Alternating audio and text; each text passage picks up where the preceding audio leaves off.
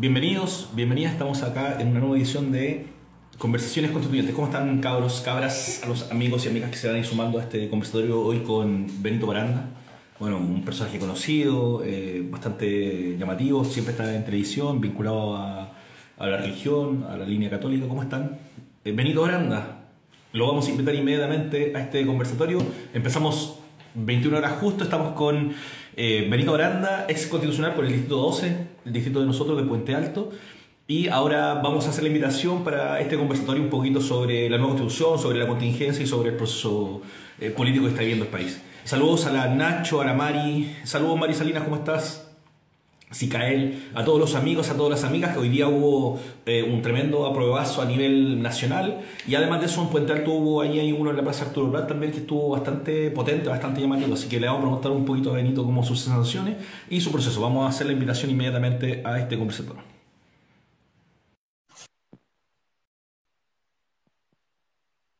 Estamos esperando ahí que acepte. Saludar a la Isa, a Manu, a la Clau, al Fresa, Salvaje, a todo el mundo que se va a este conversatorio. Soy arroba Mito el Mago. Benito, ¿cómo estás? Buenas tardes. Muy bien, hola, muy bien, muchas gracias. Oye, mucho, mucho gusto, Benito. Eh, primero, mi nombre es Emilio, muchas gracias por aceptar este conversatorio con Puente Alto Despertó.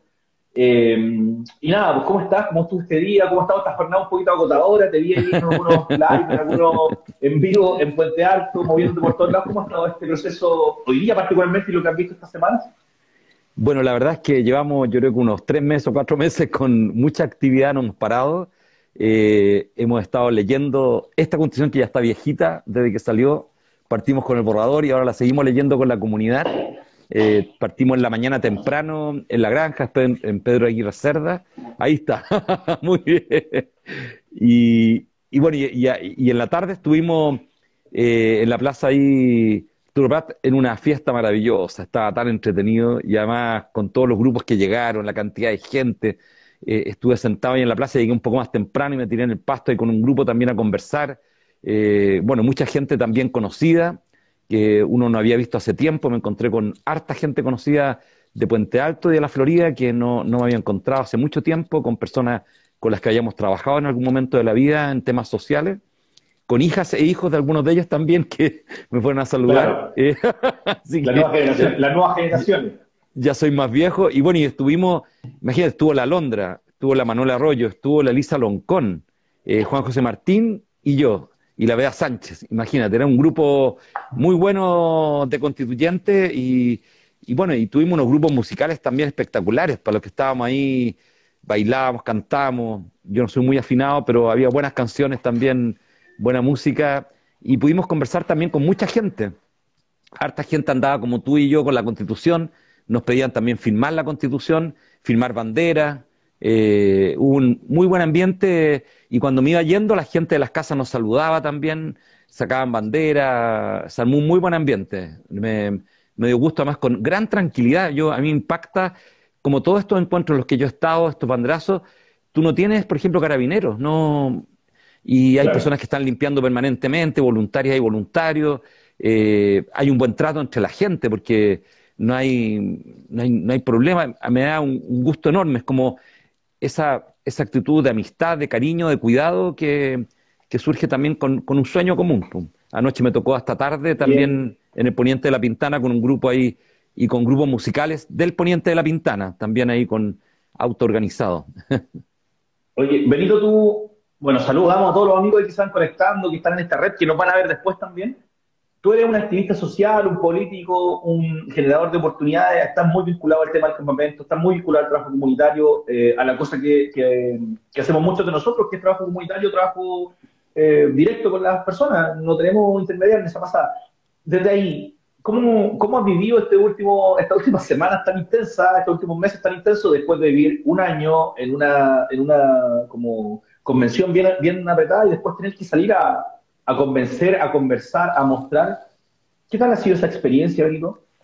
Bueno, primero ha sido una experiencia que yo pocas veces la había tenido, porque yo si bien he trabajado en sectores de mucha exclusión social, son grupos más restringidos de personas. No, ahora me toca vincularme con grupos muy abiertos de personas. Entonces ahí asisten muchas personas de distintos mundos culturales, sociales, religiosos, y eso, esa heterogeneidad tiene una riqueza inmensa, inmensa, como pasó hoy día en La Granja, en Pedro Aguirre Cerda, de gente distinta, ¿no es cierto?, que, que te invita a conversar y que tiene opiniones también diferentes. Eh, nosotros partimos tempranamente con Juan José Martín y la Bea Sánchez de aquí del distrito porque, a diferencia de Alondra, eh, Alondra le tocó participar en comisiones, en las comisiones finales. Eh, y ella tuvo que estar abocada a eso, o sea, tuvo poca movilidad el, primer mes, estuvo encerrada, ¿no es cierto?, en una comisión compleja. Entonces, el resto salimos al tiro a hablar con la comunidad y estuvimos, pero conversando mucho, mucho, ¿no es cierto?, con la comunidad. Eh, y la comunidad nos preguntaba por los artículos, andábamos con la Constitución, primero no la teníamos armonizada, teníamos las 499 normas, y ya ahora armonizada, bueno, mucha gente ya la tiene. Me tocó ayer eh, un puerta a puerta en Lo Miranda, eh, repartimos yo creo como, no sé, 300, 600 constituciones, porque se iban, toda la gente te pedía constituciones. Y ya no quería un volante, me decían, no, pero yo no quiero el volante, quiero la constitución. Eh, porque queda una semana, necesitamos leerla. Eh, entonces, muy emocionante y, veo cada vez mejor ánimo, Emilio. Yo creo que cada vez, ¿no es cierto?, hay más gente que, que tiene interés en lo que está ocurriendo y ya las mentiras se han ido cayendo por sí solas, porque muchas de las mentiras, ¿no es cierto?, que se decían, una persona por allí escribió, ¿no es cierto?, que quedó mala. Bueno, yo le pido que la lea la Constitución. Si no la ha leído, eh, lea la Constitución y compárela con otras constituciones actuales en el mundo. Vea los contenidos que tienen leas, el capítulo de buen gobierno, el capítulo, ¿no es cierto?, de democracia. Eh, es una constitución que pone la democracia paritaria, por ejemplo. Eh, todos podemos tener distintas opiniones, y yo las respeto, pero el contenido constitucional y el cómo se logró, ¿no es cierto?, armar, yo creo que es, admirable en 12 meses haber sacado, ¿no es cierto?, esta constitución. Eh, yo lo encuentro admirable y además haber respondido a todos esos tiempos tan dolorosos para Chile que han sido estas décadas, ¿no es cierto?, en que se ha extremado la desigualdad y que nos afecta a todas las personas al final, porque nos genera, ¿no es cierto?, graves problemas para vivir en comunidad. Eh, y esta constitución responde fuertemente a ello. Benito, tú estuviste principalmente en dos comisiones. Al principio la de ética y luego te sumaste al de derechos fundamentales. Dentro de eso menciona algo interesante sobre lo paritario. Eh, explica un poquito lo que es lo paritario, que yo lo pueda entender, que todos lo vamos a entender. ¿Qué significa paritario? Bueno, eh, justamente el día 4 de septiembre, cuando vayamos a votar, eh, se van a cumplir 70 años desde que votaron por primera vez las mujeres en Chile en una elección presidencial. Votaron justamente el 4 de septiembre de 1952. Y por primera vez en la historia de Chile, en esa misma elección, se eligió una senadora mujer. ¿ya? Eh, entonces, eh, es muy histórico lo que va a ocurrir este 4 de septiembre. ¿Y qué significa paritario? Fue lo que ocurrió, ¿no es cierto?, eh, en la convención. En la convención se tomaron normas paritarias, ¿no es cierto? Y eso implicó que tenía que existir la misma cantidad de mujeres que de hombres dentro de la convención constitucional. Y de hecho, hubo cinco mujeres más que ganaron en la elección, y eso hubo, ¿no es cierto?, que perderlo, porque al final hubo que equilibrar entre hombres y mujeres. Eso era la paridad. ¿ya? Eh, entonces, en todos los órganos eh, de elección popular que va a tener Chile a partir de esta constitución, ¿no es cierto?, cuando sea aprobada, tiene que estar la misma cantidad de hombres y la misma cantidad de mujeres. No conozco el Consejo Municipal, ¿no es cierto?, eh, de Puente Alto, pero por lo menos aquí en La Pintana prevalecen, ¿no es cierto?, los hombres. Estuve en Castro hace poco y hay una mujer y han habido dos mujeres en ese Consejo del Retorno a la Democracia, eh, ahora van a tener que ser tres y tres, siempre, en todas las elecciones. Eh, y eso va a implicar un cambio de la regla, ¿no es cierto?, para que efectivamente en cada uno de esos órganos representativos sea paritario. Pero también los órganos que va a tener que elegir el Poder Ejecutivo y Legislativo. Por ejemplo, las Cortes, ¿no es cierto?, todo, todo eso que se va a tener que ir eligiendo, la preocupación es que tiene que ser la misma cantidad de hombres que de mujeres.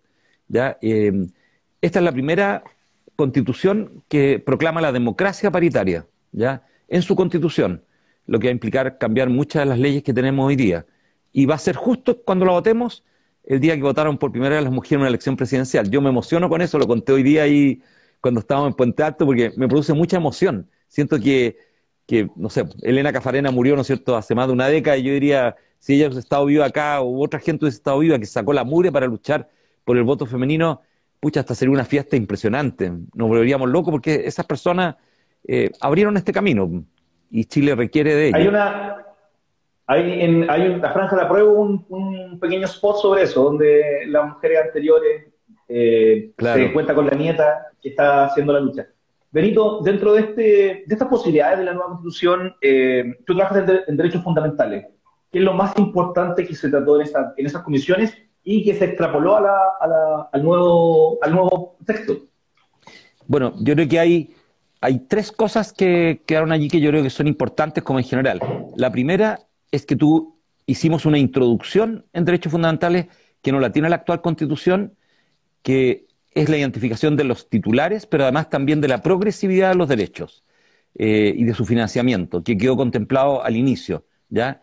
Eh, y también quedó contemplado la igualdad sustantiva, que algo que no es lo mismo que la igualdad ante la ley, sino que justamente en aquellos grupos que han sido históricamente discriminados, bueno, tú tienes que reafirmar los derechos de esas personas y trabajar para que esas personas sí sean reconocidas eh, en igualdad frente a, las otras personas. Y eso tienes que hacer acciones afirmativas. ¿ya? Y por eso eh, lo primero que quiero contar es que se reconocen cinco grupos que históricamente han sido excluidos y que sus derechos específicos son reconocidos en la Constitución. Hay gente que dice que no era tan necesario eso porque ya hemos firmado tratados internacionales al respecto. Sí, pero no los cumplimos. Los firmamos y no los cumplimos. Y aunque son vinculantes, al final no los asume el Estado. Entonces pusimos niños, niñas y adolescentes, las personas mayores, las personas con discapacidad, mujeres y disidencias, y además también eh, los integrantes de los pueblos originarios, que son los cinco grupos que han sufrido históricamente mayor discriminación en Chile. Entonces, esa parte, esa primera parte, con la progresividad, el financiamiento, la igualdad sustantiva y estos cinco grupos, es el primer capítulo. Después tenemos libertades que aseguramos.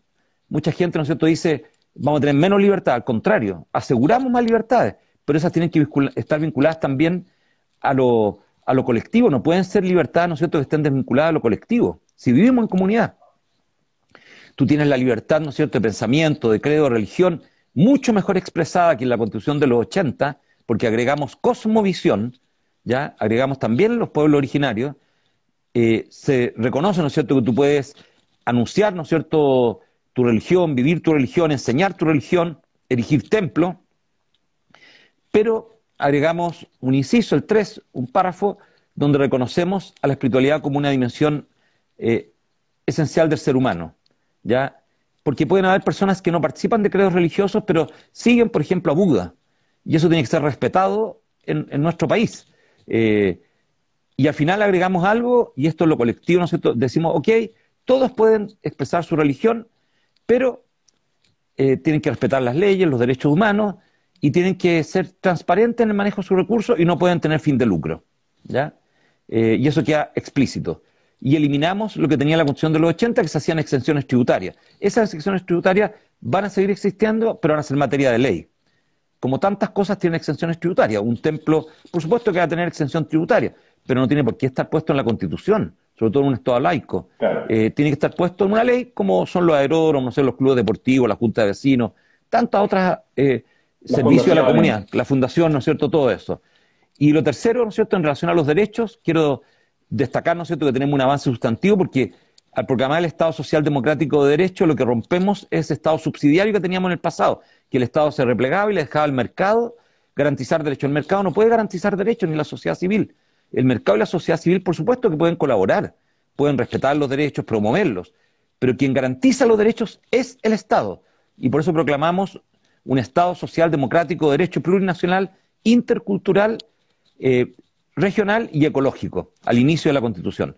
Y allí entonces declaramos derechos de manera distinta a como se han tenido eh, declarados, ¿no es cierto?, en la Constitución del 80, que se lo vincula más a libertades, pero no a garantizar los derechos de parte del Estado, en salud, en educación, en el derecho al trabajo, en el derecho a sindicalizarte, en la negociación colectiva, pero agregamos, desde mi punto de vista, ¿no es cierto?, cuatro derechos que para mí van a cambiar sustantivamente, ¿no es cierto?, lo que vimos en Chile. Bueno, el de la vivienda, que se asocia también al de la ciudad y el territorio, y al de, la, al de vivir en entornos seguros, ¿no es cierto?, eh, libres de violencia, que son el 51, 52 y 53, pero agregamos también el, el 49 y el 50, que son muy importantes para las mujeres de Chile. En el 49 se reconoce el trabajo doméstico como un trabajo, todos esos años que tantas mujeres de Chile dicen que no trabajan, pero se han sacado la mura en sus casas, o que tantas mujeres tienen lagunas previsionales porque han tenido que cuidar hijos, hijas, personas con dependencia, papás, mamás, eh, y han tenido que dejar sus labores fuera del hogar para asumir labores dentro del hogar, bueno, se reconoce ese trabajo. Y al reconocerlo, no hay más lagunas, el Estado reconoce para la seguridad social que esos años han sido trabajados, pero no solo eso, sino con el tiempo, ¿no es cierto? El Estado va a tener que compensar ese trabajo que realiza la mujer en el hogar, ese trabajo de cuidado que es reconocido también fundamentalmente en el artículo 50 con los sistemas de cuidados, que termina, ¿no es cierto?, siendo muy importante. Y por último, el derecho al deporte, que yo considero que también es un gran avance. Eh, tenemos una sociedad altamente sedentaria, el deporte es parte de la formación. Yo fui deportista desde muy pequeño, corría, me ayudó a formar el carácter, a relacionarme mucho con la gente, con, personas de distintos estratos sociales, eh, a vincularme, ¿no es cierto?, mucho con mi propio desarrollo, a entender que uno compite con uno mismo, no contra los demás, ¿no es cierto? Eh, y todo eso, bueno, el deporte ayuda a eso, el deporte colectivo, individual, y además, ¿no es cierto?, te mantiene una vida sana en un, en un mundo, ¿no es cierto?, donde tenemos eh, tantos problemas de salud y que los deberíamos prevenir. Yo que, me gustaría destacar esos derechos, ¿no es cierto?, que son muy importantes. Benito, yo te escucho, entiendo los derechos, entiendo el proceso de, la nueva constitución y, lo, que, lo que aboga, pero ¿por qué no ha costado tanto o ha costado tanto a personas como tú que estás en campaña, que has sido eh, desplegado en todos los territorios, eh, expresar esto y que se entienda eh, por todos? Tiene mucho que ver la campaña del rechazo, tiene mucho que ver los medios, la concentración de medios, tiene mucho que ver la cantidad de papelería que nos entregan de este tipo, eh, en, esa, en esa desinformación, en esa mm, poca posibilidad de que, esto, de, que esta información tan importante y tan social llegue a la gente? Bueno, lo primero es que cuando tú inicias un proceso constituyente de las características del que estamos viviendo, quienes llegamos a construir la constitución queremos construir la constitución, queremos un recambio. Lo que ocurrió en Chile, que es bien extraño, que un pequeño grupo de personas llegó sin querer el cambio de la constitución querían seguir con la constitución de los 80. Entonces ya tenías desde el primer día un grupo opositor dentro de la constitución, de la convención, perdón. Eh, entonces ya eso te genera un ruido muy fuerte, porque esas personas, ¿no es cierto?, lo que hacen permanentemente es atacar lo que se está construyendo, ¿ya? De manera, ¿no es cierto?, sutil a veces, de manera muy directa, grabando videos, eh, y con el respaldo, por supuesto, de los medios de comunicación. Lo segundo es que hay pocos procesos en el mundo que han tenido eh, tan poca colaboración de los medios de comunicación del Estado y particularmente de Televisión Nacional. Televisión Nacional desde el primer momento que partió la convención eh, se reunieron con la presidenta de Televisión Nacional, eh, miembros de la Comisión Transitoria de Comunicaciones, la provisional, las primeras comisiones, para que se hiciera un seguimiento permanente de lo que estaba ocurriendo en la convención. Por ejemplo, ir publicando las normas, ir opinando permanentemente, no políticamente, sino ir mostrando las normas para que las personas fuesen conociendo las normas, no generando tensión política. Y bueno, y no se aceptó eso, y lo que se dijo es que se iba a cubrir desde la política. Eh, y cuando tú lo cubres de la política, lo que hace es meterlos en la batalla política, no meterlos en la formación cívica, que era lo necesario, ¿no es cierto? En 12 meses tú podrías haber ido educando cuáles eran las etapas y no quedarte en la chimuchina del conflicto de la persona que se salió de la convención, que nos siguen preguntando hasta el día de hoy, ¿no es cierto? Por la persona que abandonó la convención, y yo el segundo día dije no voy a hablar más de eso. O sea, ustedes no me vuelvan a preguntar, le dije a los periodistas, porque yo vine a construir una constitución. Y una persona que es menos del 1% de los convencionales se retiró. Yo no lo voy a juzgar, no voy a opinar sobre eso, porque tenemos demasiado trabajo. Pero la prensa siguió, ¿no es cierto? Y la prensa siguió en la pelea, en el insulto, en, en los puntos. Entonces, el canal que debería haber mantenido un trabajo de educación permanente, no de tensión política, sino de educación permanente, además de los programas políticos que por supuesto los pueden hacer, pero de educación, como se hizo en tantos países del mundo. Nos tocó ver muchas experiencias del mundo que lo hicieron, bueno, no lo hizo, no lo hizo. Y ese canal es de todas las personas de Chile, entonces lo debería haber hecho. Si era un proceso constituyente y no tuvimos compañía mediática para poder hablar de las normas. Teníamos que salir a hablar nosotros de las normas y entrábamos inmediatamente en la pelea política de que yo dije esto, dije lo otro, que yo hice una indicación y tú no la aceptaste. Y por supuesto, quienes no tenían un tercio iban a usar todos los medios para denostar a quienes teníamos dos tercios. Y quienes teníamos dos tercios no veíamos enfrentados a esto. Benito, con respecto a eso, eh, el, tercio que tú mencionas, eh, que fue el, del, el que está vinculado a la derecha, la UDI, RM, la gente más de derecha, que hoy día son todos rechazos, con algunos DC o alguna gente del PPD que se ha ido para allá. Es gente que está vinculada de una u otra forma a la iglesia, eh, a la iglesia chilena, al, vínculo con, con América Solidaria, con el Hogar de Cristo, gente que está en otro estrato social. ¿Cómo ha sido tu vinculación desde ahí? Desde haber tenido que, de una u otra forma, estar en contra de esta gente que en algún minuto sí está vinculada a lo que tú haces y a la labor social que, tú, que a ti te gusta. A ver, eh, la gran mayoría de las personas que son socias eh, de esas instituciones están en todos los estratos sociales, ¿ah? y yo diría que la gran mayoría está en los estratos medios bajos, medios altos. Eh, los pero, pero no hablo solo los socios, Hablo, el ambiente. sí, claro. Eh, yo no, he tenido dificultad y me junto con muchas de esas personas. ¿eh? De hecho, cuando terminé la convención, yo ya renuncié a América Solidaria, renuncié antes de la convención. Tuve la oportunidad de ir para allá, de juntarme con la gente. Eh, bueno, y hablo habitualmente con muchas de mis amigas y amigos. Hay algunos que van a votar rechazo, seguramente, otros están dudando todavía, ¿no es cierto? me he juntado con grupos de personas cercanas a mí también del mundo empresarial que me han invitado a conversar una vez que ya terminé la convención. Lo, anterior lo hice siempre por, eh, por, la vida del lobby, ¿no es cierto?, cuando me pedían reuniones, pero ya terminando eh, me han invitado a conversar y hemos tenido buenas discusiones. Eh, en un grupo más o menos la mitad iba a votar apruebo, otro estaba indeciso y la otra, el otro grupo iba a votar rechazo. pero fue una excelente conversación, no, no he tenido mayores cuestionamientos, ¿no cierto?, de las personas. Y he estado en varios conversatorios donde hay personas que, manifiestan que van a votar rechazo, pero son buenas conversaciones también. Nos hacen preguntas o críticas, como yo la tendencia que he tenido todo este tiempo es a leer los artículos, no entrar en la atención política. Yo no soy una persona que participa de partidos políticos, lo respeto mucho porque creo que son muy importantes para la democracia. Eh, vengo más, ¿no es cierto?, del trabajo social. Lo que hago es tomar, ¿no es cierto?, el, el texto e ir viendo los artículos. Entonces, si alguien me dice algo que no corresponde, como hoy día en la mañana, ¿no es cierto?, en la granja, que una persona preguntó algo que no está en la Constitución, yo le dije, le voy a leer el artículo, y le leí el artículo, lo que efectivamente decía la Constitución. Entonces, eso baja también la tensión de las discusiones. No, no he tenido, no he ido mucho a los medios, esta semana voy a ir un poquito más a los medios, eh, porque me ha tocado estar recorriendo todo Chile, he ido a los medios regionales, mucho a las radios regionales y algunos canales regionales también que me han entrevistado. Eh, me tocó recorrer recorrer desde Arica hasta eh, Puerto Williams, eh, con muy buenos conversatorios con la gente y también en la calle, en los puerta a puerta. Eh, pero no, no es sentido. Yo tengo como práctica, Emilio, que en mi vida y también con mi esposa, lo tomamos hace mucho tiempo cuando éramos muy chicos y nos casamos muy jovencitos, que, que lo peor que uno puede hacer es renunciar a su conciencia. Entonces, cuando uno tiene claridad de que las cosas que se están construyendo van a permitir tener un país mejor, donde vamos a poder vivir mejor, bueno, la gente me dice, eso tiene costo, tiene costo de amistad o de vínculo.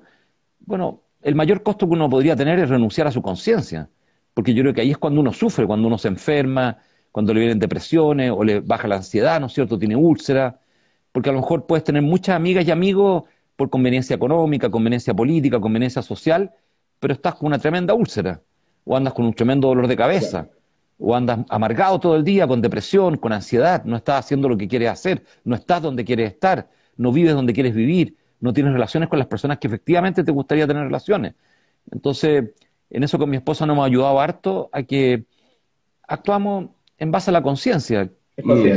Y, tengo grupos de amigos que me ayudan mucho en eso, participo de una comunidad cristiana que me ha ayudado mucho en eso, eh, mi esposa me ayuda mucho, bueno, y tengo, por supuesto, amistad aquí en La Pintana, eh, y otros grupos de amigas y amigos que también me van ayudando a, comprender eso y me van acompañando en este trayecto.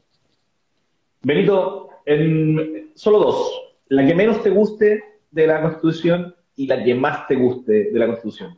De los bueno, no sé si hay alguna que me guste menos, me cuesta, porque voté a favor de todas ellas, salvo un inciso de una norma que tenía una observación, pero una observación más que un, a que no me guste.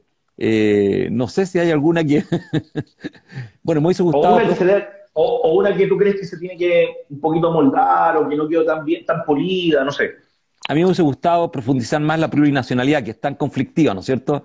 Yo hubiese sido más conflictivo todavía, porque creo que... ¿Qué hubiese puesto? puesto?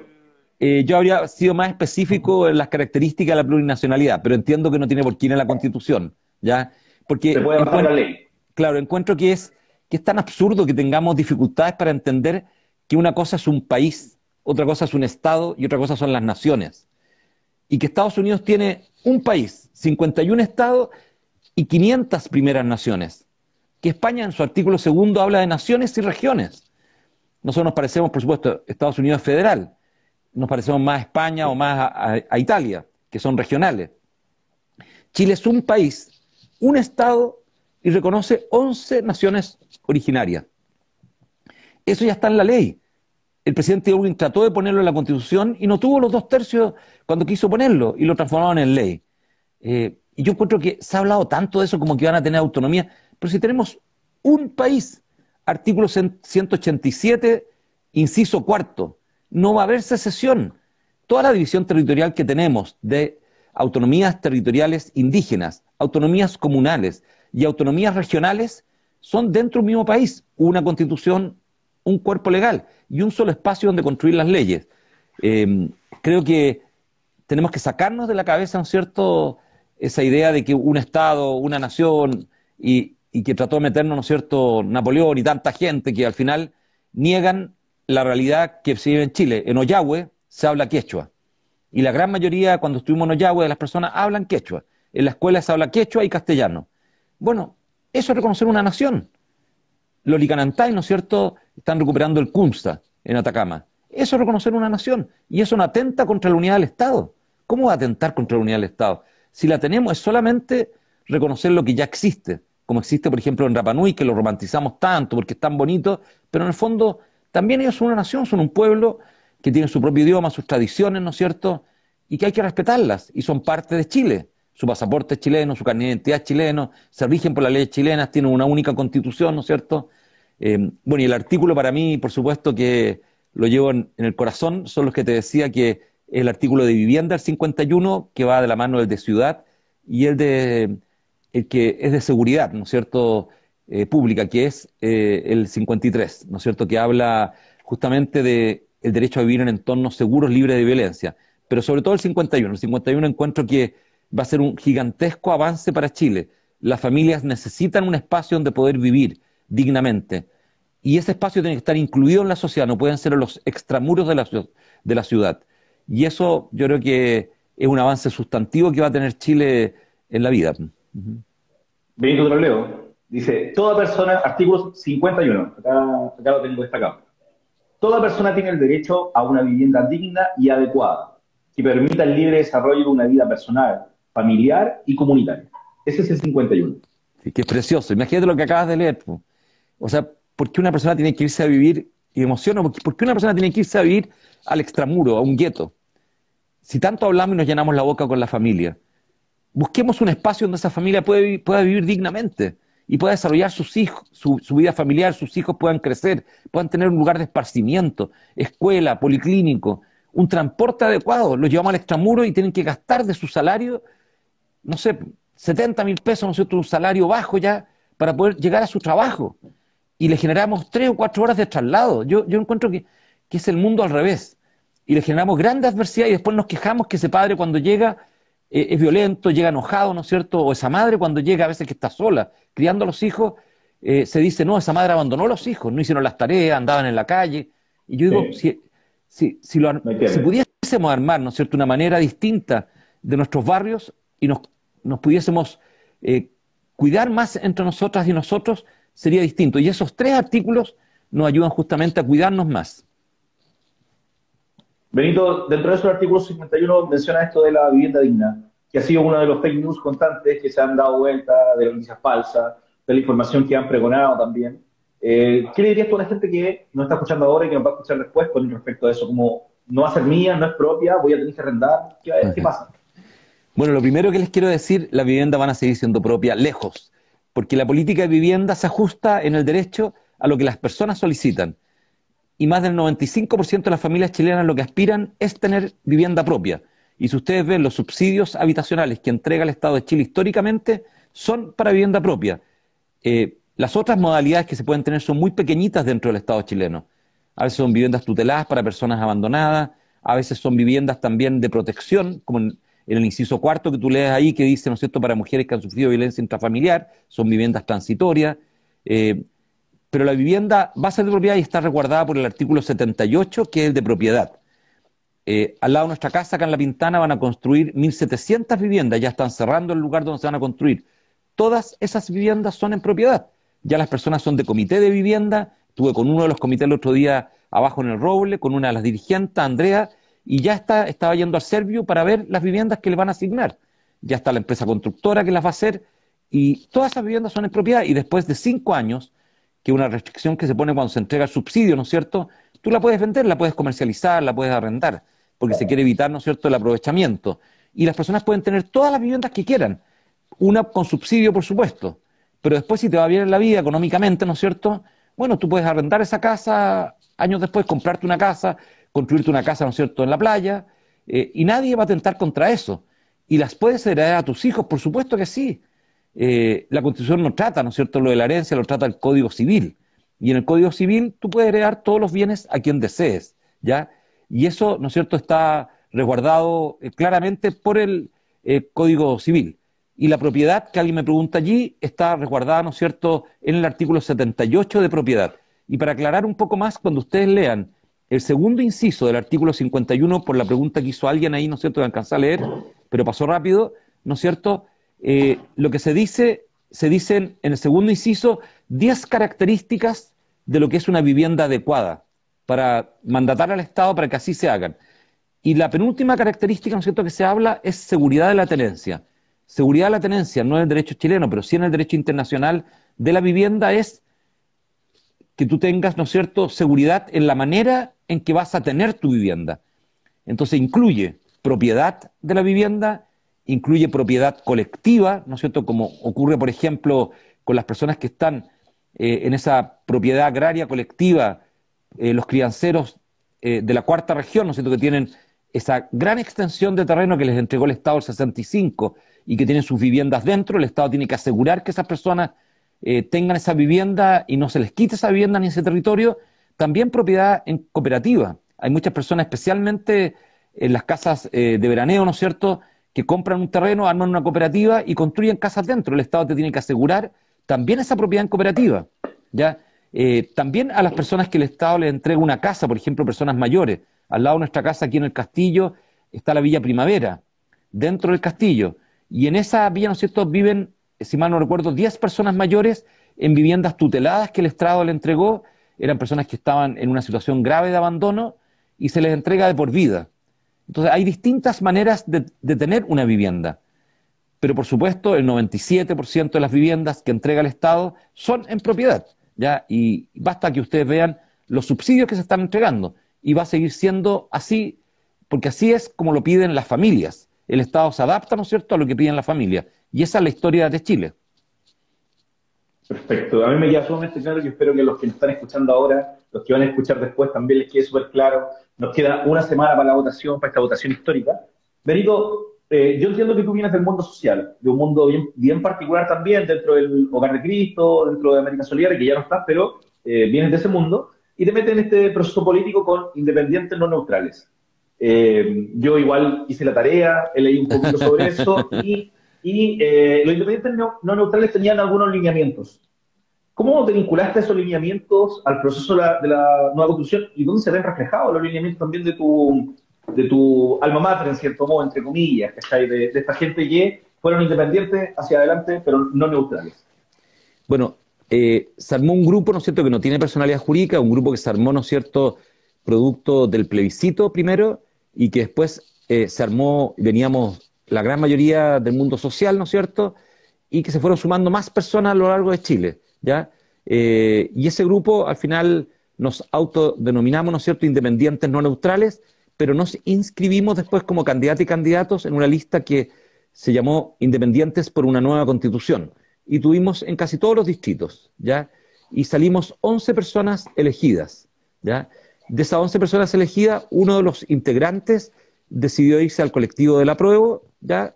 Y tuvo una buena salida, era parte, ¿no es cierto?, de la propia libertad de esa persona esa decisión, nos informó a todos en una reunión que tuvimos en los patios del ex Congreso eh, y quedamos 10. Pero después tres personas independientes eh, nos pidieron ingresar también al grupo y quedamos al final 13 personas. Ese fue el grupo definitivo. Las personas originales que estábamos independientes no, neutrales, eh, lo que logramos consensuar y construir colectivamente fueron nueve lineamientos que tú los leíste ahí, ¿no es cierto?, que son de distintos ámbitos, de los derechos fundamentales, el tipo, ¿no es cierto?, de gobierno, el reconocimiento de la plurinacionalidad, ¿no es cierto?, lo que hablábamos, ¿no es cierto?, el presidencialismo atenuado también, los derechos de la naturaleza, bueno, todo, todo eso que, que tú debes haber revisado, eh, y esos lineamientos, cuando éramos candidatas o candidatos, los leíamos y decíamos, sí, estoy de acuerdo. A algunos le tocó muy tardío, por ejemplo, Paulina, Valenzuela, que es del distrito acá al lado nosotros, el 14, el último día se inscribieron como independientes no neutrales, se inscribieron como lista. Entonces leyó rápidamente los lineamientos y estuvo de acuerdo, Paulina. Eh, y trabajó, por supuesto, arduamente con nosotras y con nosotros, ¿ya? Eh, y adhirió. Otros nos tocó construir esos lineamientos, o sea, participar de las deliberaciones, porque fue, por supuesto, un año anterior. Entonces, de esos lineamientos, yo creo que hay dos, eh, bueno, todos, si tú los vas revisando, se fueron cumpliendo. Porque eran lineamientos que eran comunes también a otras personas, no ningún invento. Si tú los lees, es lo que estaba en el sentir ciudadano, no, no había ningún invento y coincidíamos, ¿no es cierto?, con la gran mayoría de las personas que íbamos por una nueva constitución y una constitución reformista. Yo creo que dos de los que logramos cumplir y que los trabajamos fuertemente, uno ya te lo nombré, que es la plurinacionalidad, y el otro que generó mucha atención, no me voy a meter en derechos fundamentales porque es un ámbito, por supuesto, que cumplimos con creces lo que nos habíamos comprometido, es lo del presidencialismo atenuado, que fue bien complejo, ¿no es cierto? Eh, yo era más partidario, ¿no es cierto?, de una cámara unicameral, al final se, se permitió una cámara asimétrica, ¿no es cierto?, es decir, una cámara que no hiciera lo mismo que la otra, ¿ya?, eh, que fue la Cámara de las Regiones. Eh, pero ahí también cumplimos, ¿no es cierto?, con un presidencialismo, seguimos con un régimen presidencial, pero más atenuado. A mí personalmente siempre me hubiese gustado un régimen más parlamentario, pero entiendo que no había ninguna mayoría para eso.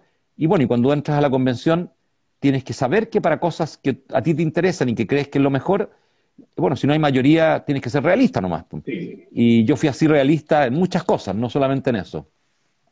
Oye, bueno, eso es política. Benito, Dentro de eso, eh, los que tú mencionas son bien eh, sensatos, los, nuevos, los nueve lineamientos como políticos de estos independientes no neutrales, y como que se extrapola mucho a la sociedad que todos queremos en el utópico. Los, eh, religiosos, los no católicos, los, los, protestantes, todos tenemos más o menos cosas similares. Pero dentro de eso, la constitución, la nueva constitución, en base a los fake news y a lo que está pasando, se tilda una constitución comunista roja, de izquierda, no quiero el comunismo, Chilezuela, Venezuela, Cuba, es lo que más se menciona en esa pasada. Eh, ¿Cómo me explicas tú que no es comunista? ¿Cómo me dices tú que lo que se está planteando no es el proceso? Porque, porque es el miedo que genera la gente, porque vienen los comeguaguas, porque, eh, porque también se ha instaurado ese miedo y ese miedo también, sobre todo en generaciones más adultas, también viene de antes, también viene instaurado un poquito. Entonces, ¿cómo que estos lineamientos no son, o sea, son sociales, yo lo logro entender, pero ¿cómo tú me lo explicas como a la gente que nos ve, que no son come guaguas, que no son comunistas? Bueno, ha sido muy interesante y me gusta mirar la pregunta porque eso es lo que he hablado, hoy día lo hablé en la mañana con personas de mi edad y mayores que yo, y estaban felices. Porque tú tienes que leer el texto. Yo les digo, lean el texto. Eh, pierdan el temor, tomen el texto y hay una, una guía también más pequeña, ¿no es cierto?, donde salen algunas de las normas y se van a dar cuenta que es un texto que nos va a mejorar la vida, nos va a permitir humanizarnos, nos va a permitir tratarnos mejor y la gente comienza a mover la cabeza. Eh, por ejemplo, se ha dicho, ¿no es cierto?, que la eliminación del Senado es terrible para Chile y yo les pregunto a las personas en regiones siempre, ¿qué pregunta tienen en relación al sistema político? Y la gran mayoría de las personas está felices con el término del Senado y con la creación de la Cámara de Regiones.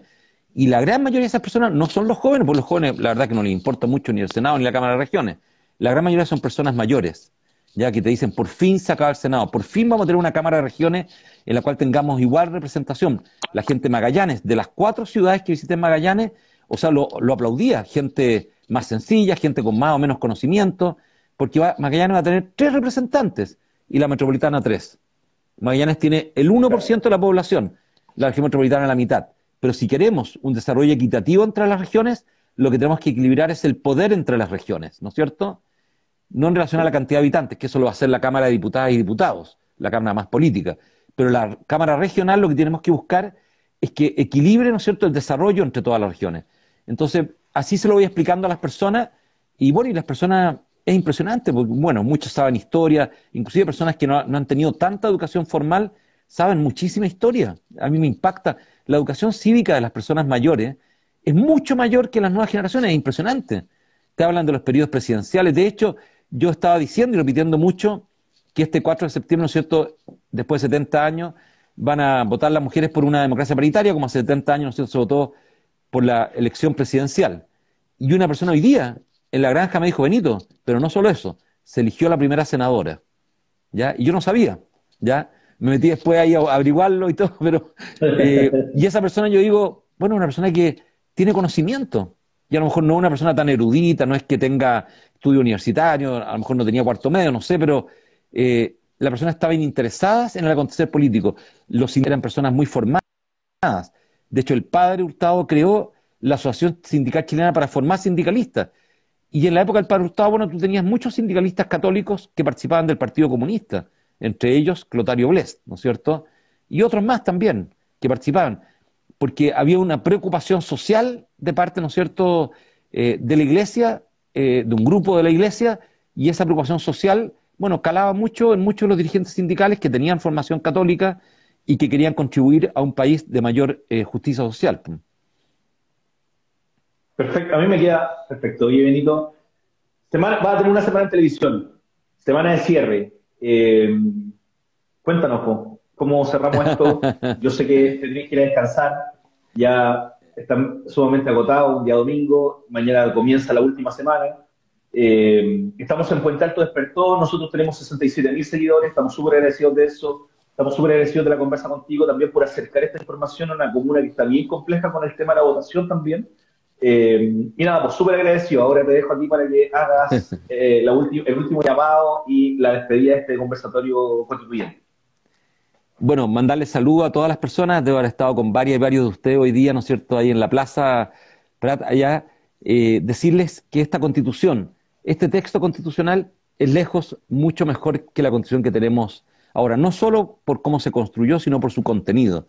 Y nos va a permitir tener un país muchísimo mejor que el que tenemos hoy día porque ataca las raíces de la desigualdad histórica que se han vivido en Chile y la ataca de manera democrática. No le impone nada a nadie, no le quita nada a nadie, sino que hace que los derechos sean efectivamente garantizados por el Estado. Y además distribuye el poder en Chile, lo distribuye a las regiones también, permitiendo que las regiones de Chile y nuestras comunas, especialmente las más excluidas, puedan también acceder al desarrollo que les ha costado, nos ha costado tanto acceder. Crean en eso, dense el tiempo en estos pocos días que quedan de meterse en los capítulos, particularmente en el capítulo de derechos fundamentales y también en el de Estado regional, donde están las comunas autónomas. Es una constitución que le va a hacer bien a Chile y nos va a permitir tener un país más justo y, por supuesto, un país más en paz y feliz.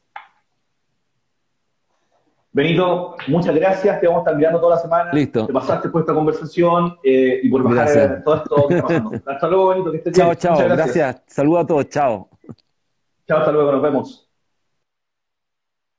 Hoy así cerramos el conversatorio de hoy. Estuvimos con Benito Aranda ya cerrando este ciclo de conversatorio de todo eh, agosto. Muchas gracias a todos. Soy arroba Milo el Mago. Me puedes seguir ahí en las redes. Hacemos de todo. Saludos al carnavalito del Flow. Nos vemos, chiquillos, que estén bien. Chao, buenas noches.